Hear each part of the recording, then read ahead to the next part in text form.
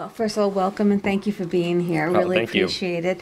Um, what does it mean to you to see Encanto shown to hundreds of students at Mike's field trip to the movies? Uh, I mean, it's it's kind of mind blowing, right? Because like when this movie came out, like certainly everything was pretty locked down, and then the movie really uh, once it hit Disney Plus, things kind of exploded. So.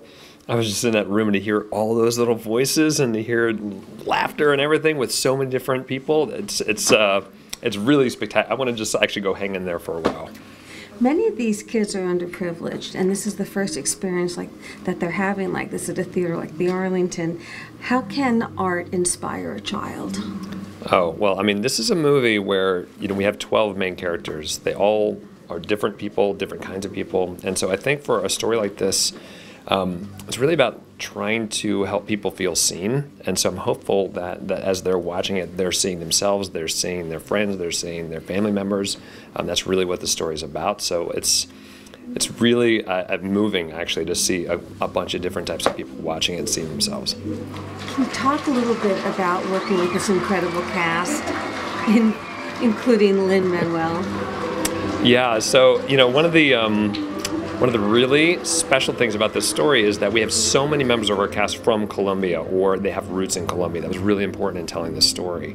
Um, and we have some of the, you know, like someone like John Leguizamo, who is such an amazing Bruno, such a tricky character. Stephanie Beatriz, who, you know, I think Mirabel is one of the most human characters we've ever put on screen before. But you have all kinds of different people coming together. And what was crazy is that during the pandemic, we couldn't actually be with each other. Usually you're spending time, and so when we had our premiere, it was the first time the whole cast had gotten together. It really felt like this amazing giant family. And of course, you have Lin there, and all of the songs that he was able to find and bring out character within each. Each of those song moments gives our characters a moment to shine, and uh, seeing all that come together at, at one point is uh, really kind of blows my mind.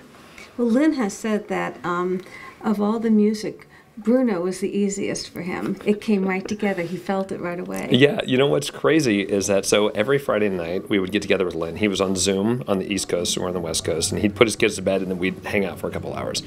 And when we talked about Bruno, he's like, I think I understand what that is. And he literally on the Zoom call turned to a piano next to him and went don don don and wrote it in front of us in real time, which is crazy. Um, so yeah, that one was very quick, but I think he had like an idea in his head, and then there's all these really fun character moments. So yeah, that one, I'm I'm so excited that people have have really been drawn to that because it's such an amazing showcase of all of our different characters and actors. Amazing. Um, what advice would you give to young minds, young students who want to get into the business, who want to be in the arts? Um, you know, I think the most important thing is that um, I think uh, telling your own story is very critical. You know, bring yourself into whatever your uh, whatever type of story you want to tell. I think that fresh voices are so critical. I think Hollywood in general needs that. Um, and so I'd say, bring your own stories. Stay true to yourself. Don't try to tell someone else's story. Like whatever whatever you're excited about, bring that to the screen. Bring that to the page. Uh, we need it. Yes, that's great. What's next for you? Um, all secret things right now. Oh, come. Um, come I'd say uh, a tidbit. A tidbit is I'm very excited to be working on the new Moana series that's on Disney Plus. I can't say much more than that, but I will say that I think it's really going to surprise people. It's a very, very exciting, um, very exciting show, and I think people are going to love to get back into that world. Well, Jared, that'll give us something to look forward to. I hope so. Thank you for Encanto. Thank you so much.